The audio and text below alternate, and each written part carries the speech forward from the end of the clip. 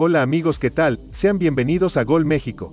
A puro gol, a toda velocidad y con mucho poder, así llega esta selección mexicana al premundial en Monterrey. Porque probó su ataque de miedo ante Perú en el primero de los dos amistosos y terminó goleando 5 a 1 en el TSM de Torreón. Carolina Jaramillo, figura, clavó dos, mientras que Estefaní Mayor, Mari Carmen Reyes y María Sánchez anotaron los otros. Diana Ordóñez tuvo la chance de marcar, pero su penal se lo entregó a las manos de la portera peruana. Le costó un poquito, porque el primer tiempo no existió tanta diferencia como en el segundo. No futbolística, sino en el marcador.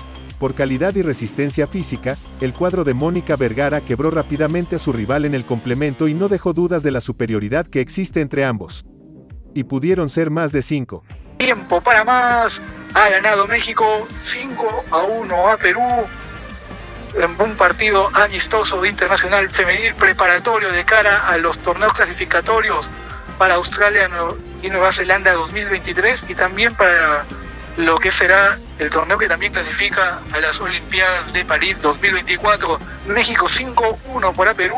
Y un primer tiempo en el que pudimos ver que fue un poco más parejo, ¿no? Eh, más controlado por un poco más controlado por México, es verdad. Y así fue como llegó el primero también, un par de ocasiones más que logró tener la selección local.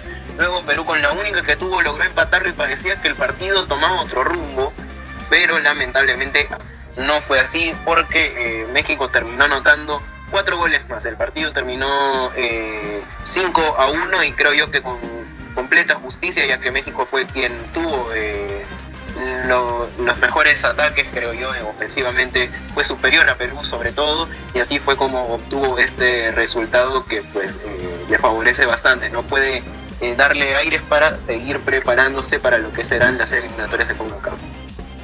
Sí, anotaron eh, Carolina Jaramillo, un doblete, el otro fue de Stephanie Mayor, también María Sánchez hizo presente en el marcador, cerró la cuenta para, para México Mari Carmen Reyes, al finalizar el primer tiempo había anotado para Perú, había puesto el 1-1 momentáneo, Ariana Muñoz a los 46 minutos, la jugadora del norte de Florida, había puesto el 1-1, un resultado que era esperado porque México tiene una diferencia bastante amplia sobre Perú en lo que es el ranking FIFA, 26 a nivel mundial para México, tercero a nivel de CONCACAF, de dos selecciones bastante poderosas como son Estados Unidos y Canadá. Perú es 66 a nivel mundial, séptimo a nivel de Sudamérica, un poco para que entiendan la diferencia de ambas selecciones que se van a volver a enfrentar.